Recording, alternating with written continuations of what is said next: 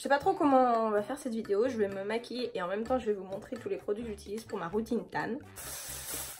Euh, donc, on va commencer par ça. Par ça. Un petit café. Très bon. Ok, alors aujourd'hui petite vidéo sur le tan. C'est la rentrée, les compètes reprennent bientôt, donc je suppose que vous êtes euh, plus ou moins en train de chercher les nouvelles robes, les nouveaux make-up, euh, les nouvelles coiffures, voilà tout ça. Donc moi je voulais vous parler un petit peu de ma routine tan, donc ce que je fais pour les compétitions. Donc alors, pour les personnes qui ne font pas de danse sportive qui regardent cette vidéo, je vous explique un petit peu ce que c'est. Le tan, c'est un processus en fait qui permet d'avoir une peau beaucoup plus bronzée et euh, légèrement enfin, scintinée, brillante en fonction des, des finis que vous voulez. Pourquoi on fait ça? Parce que je sais que c'est une question qui revient régulièrement. Pourquoi vous vous bronzez? Pourquoi vous vous maquillez autant? Est-ce que c'est une obligation? Est-ce que c'est pas une obligation? C'est pas une obligation. En aucun cas, c'est dans le règlement, voilà, qu'il faut absolument être euh, tiré à quatre épingles, toute bronzée. En aucun cas. Mais dans nos critères de jugement, il y a quand même un critère euh, look. Donc c'est-à-dire bah, sur, le physique, sur l'apparence, sur comment tu te présentes lors de la compétition. Donc quand je dis physique apparence, c'est pas euh, la couleur de tes yeux ou, ou la taille de ton soutien-gorge, hein, pas du tout. Donc là, fond de teint stick couleur caramel. Mais, ceci dit, le critère du look est hyper important dans le sens où tu te présentes sur la piste normalement avec un effort de présentation déjà fait, avec une tenue qui correspond à ta personnalité, avec une coiffure qui correspond également au look euh, que tu veux montrer sur la piste. C'est quelque chose qui est pris en considération par les juges. Donc voilà pourquoi c'est hyper important. C'est également aussi important pour se mettre dans la peau entre parenthèses d'un personnage parce que oui forcément nous faisons de la danse à deux.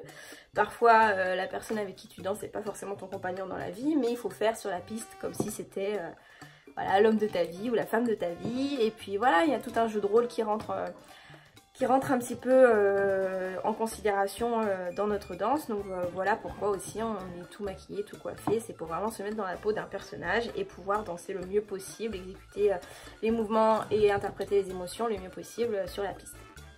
Donc voilà un petit peu pourquoi. par exemple, si vous avez deux couples d'un même niveau, exactement le même niveau, même style de danse, euh, celui qui se présente euh, n'importe comment, qui n'est pas coiffé, pas maquillé, euh, avec une robe qui ne met pas en valeur forcément le, style de danse et la morphologie des, danseurs. Il y a de très très fortes chances que bah, le couple qui ait fait un effort de présentation et qui arrive nickel à quatre épingles, voilà, passe devant le, couple de même niveau et qui lui est arrivé à l'arrache à la compétition. C'est comme un petit peu bah, dans le patinage ou euh, dans la natation synchronisée quand elles se mettent euh, la gélatine, euh, voilà, il y a un côté pratique mais il y a aussi un côté style, ça fait partie des codes en fait de la discipline. Donc nous dans nos codes de notre discipline, il y a le tan pour les danseuses, il y a le maquillage pour les danseuses et pour les danseurs et la coiffure également pour les deux qui doit être assez travaillée et vraiment, vraiment plaquée à quatre épingles quoi. Donc voilà un petit peu pour pour la petite histoire. Euh, voilà, en tout cas, je parle des danses latino-américaines avec le tan, parce que forcément, comme dit danse latino-américaine, latino, donc euh, voilà, ça fait tout penser, Cuba, machin, tout ça, donc là-bas, les peaux sont très bronzées. Donc euh, c'est pour avoir le, style qui correspond mieux, la peau, pardon, le, physique, pardon, qui correspond mieux au style de danse. Donc voilà, petite aparté. On va commencer par donc préparer sa peau avant la compétition. Donc 2-3 jours avant la compétition, j'utilise de l'auto-bronzant.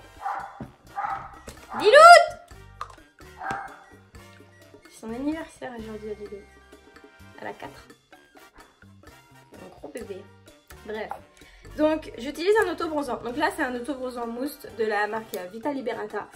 Euh, que j'ai essayé euh, juste... Je l'applique à la main tout bêtement après la douche le soir avant de me coucher.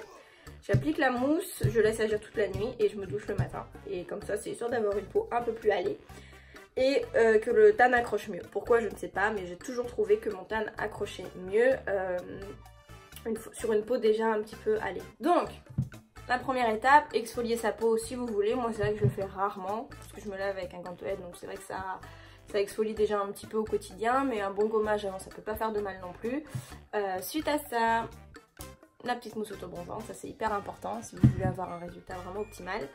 Et euh, le jour même de la compétition, donc je me douche, voilà, rase, histoire d'avoir vraiment les jambes nickel euh, le jour de la compète.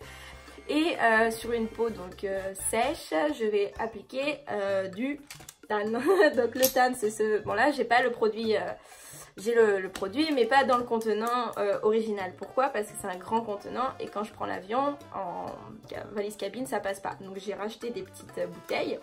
Donc là c'est Nico qui me l'a donné parce qu'il y a une petite tour Eiffel dessus donc il dit ah ma petite française enfin bref c'était trop chou. Et donc voilà donc c'est un produit. Je vais vous montrer ça tout de suite, je vais faire un test sur ma peau. Euh, c'est un produit, donc c'est comme un espèce de fond de teint. Mais c'est un fond de teint vraiment qui est hyper foncé. Et, euh, et voilà, qui est, pour, qui est fait exprès pour le corps. Donc euh, je vais vous montrer ça tout de suite sur mon bras. Hop. Donc voilà, comment je l'applique? Je l'applique avec un gant en velours. Donc c'est un gant en fait qui va vraiment euh, déposer la matière uniformément sur la peau et qui va ne pas faire trop de marques. Je sais que certaines danseuses utilisent des éponges. Pour ma part, je n'arrive pas à faire un, travail vraiment uniforme euh, avec des éponges. Donc j'ai trouvé ce gant là que je lave en machine euh, entre chaque compétition et avec franchement je suis hyper contente donc euh, voilà j'ai trouvé ma petite routine qui me convient bien avec un résultat qui me plaît. Donc voilà on est parti je vous montre sur mon bras. Donc on prend le petit produit j'en ai pris 20 fois trop hop voilà ça suffit. On a un produit comme ça. Hop. Le bras vous allez voir donc voilà un petit peu. Donc on applique et juste la couleur. Donc après, ne pas oublier les doigts, le coude, les plis.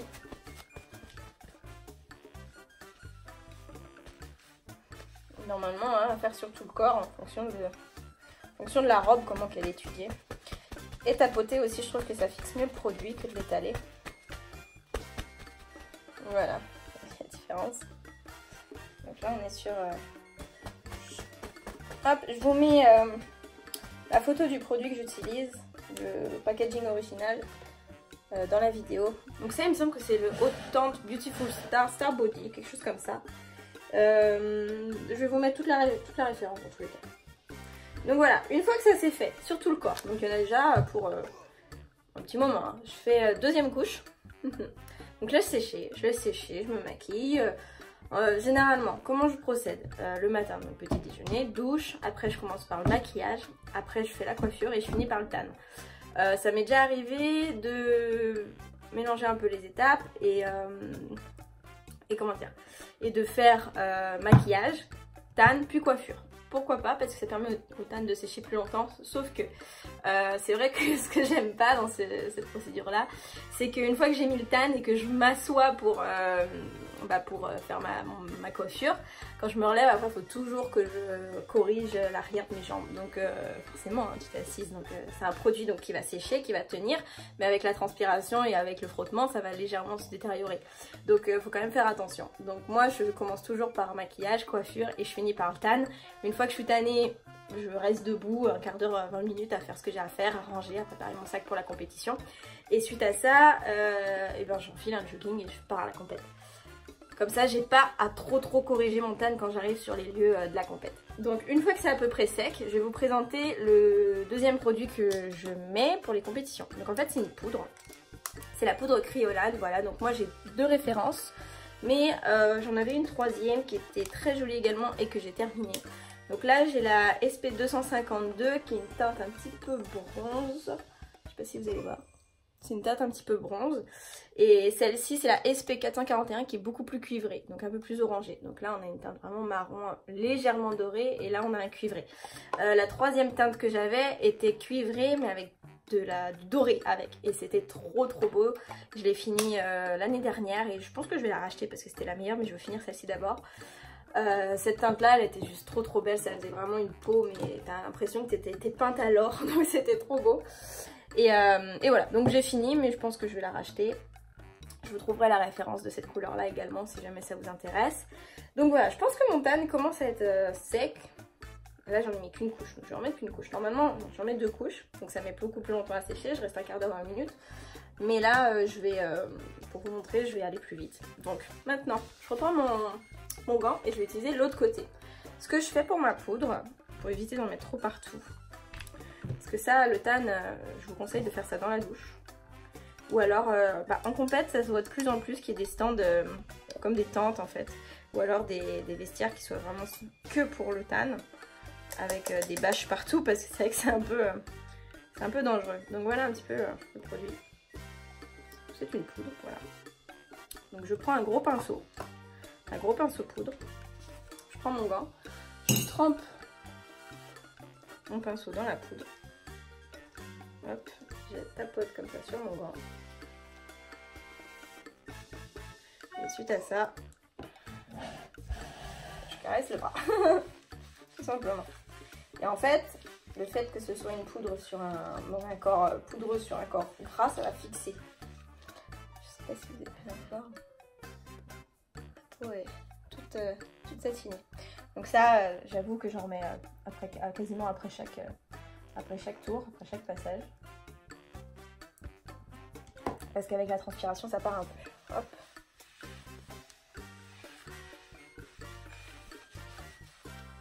Voilà, raison avec l'autre. Voilà. Et donc ça, c'est sur tout le corps. Sur les jambes, bah, c'est trop beau sur les jambes parce que forcément ça fait des jambes qui paraissent un peu plus fines, avec les muscles bien bien dessinés. Et puis, euh, puis voilà, une, peau qui paraît plus épaisse. Donc, euh, et puis qui, qui, qui reflète en fonction de vos mouvements. Donc ça c'est vraiment cool.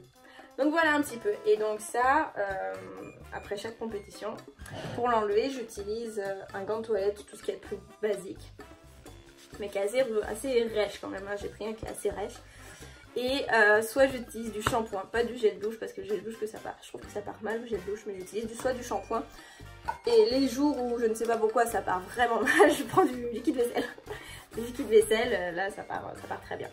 Mais euh, voilà un petit peu pour les produits que j'utilise pour le tan. Et, euh, et puis voilà comment je l'applique, avec quoi. Il y en a qui appliquent vraiment la poudre, qui achètent des gros pots de, poudre pressée, qui appliquent ça avec un pinceau, mais je trouve que le, le résultat n'est pas aussi aussi sympa. Ah, j'avais autre chose à vous montrer aussi. Ça, ça c'est top aussi. ça coûte vraiment pas cher. J'ai trouvé ça chez Babou. Euh, l'année dernière, je crois. C'est une espèce de, crème pour le corps qui est euh, toute, euh, toute nacrée comme ça. C'est un crème teintée pour le corps, mais donc ça donne un effet glow en fait. Je sais pas si je l'applique par-dessus, ça serait trop beau. Pas sûr en fait. Ah si, ça donne un effet un peu plus doré. Vous voyez? On va d'être peinte de bronze ou je sais pas quoi. Donc je disais oui qu'il y a certaines danseuses qui utilisent des, poudres compactes en fait. Poudre compacte, vraiment le même type de poudre que la cryolane, que ça mais dans une poudre compacte et qui applique avec un énorme kabuki. Et euh, moi personnellement j'ai jamais adhéré. J'ai jamais adhéré à cette technique là. Je trouve que ça n'applique pas assez de produits, que ça fait des marques. Mais, euh, après pourquoi pas, hein, avec l'expérience on arrive toujours à faire les choses correctement. Donc peut-être que moi j'ai pas réussi parce que c'était les premières fois que j'utilisais et puis que je suis repassée à ma méthode euh, poudre libre. Mais voilà un petit peu. Donc première étape, l'auto-bronzant, deux jours avant. Deuxième étape, le jour même, le tan. Voilà, celui-ci, je vous mets la photo du packaging original euh, sur la vidéo. Et après la poudre à appliquer avec le gant en velours et le gros pinceau et demander à quelqu'un pour le dos. Donc voilà pour la routine tan euh, spéciale compétition. Si vous avez des questions, n'hésitez pas à me les poser dans les commentaires. Je me ferai un grand plaisir d'y répondre. Et euh, on se retrouve pour une prochaine vidéo la semaine prochaine. Je pense que ce sera une petite vidéo sur Dals parce que ça va être la rentrée de Dals ce week-end. Pour la première fois de ma vie, je vais regarder Dals à la télé de l'autre côté de l'écran. Donc euh, voilà, je pense qu'on va, on va se faire une petite vidéo un petit peu récapitulative où je vais peut-être répondre à une petite question que vous vous posez. Et puis voilà, donc je vous fais des bisous et puis on se retrouve la semaine prochaine. Ciao